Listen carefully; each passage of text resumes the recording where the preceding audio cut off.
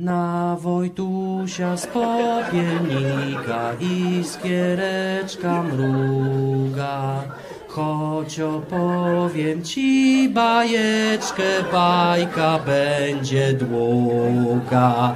Wojtuś godził siostrę nożem, bo był psychopatą.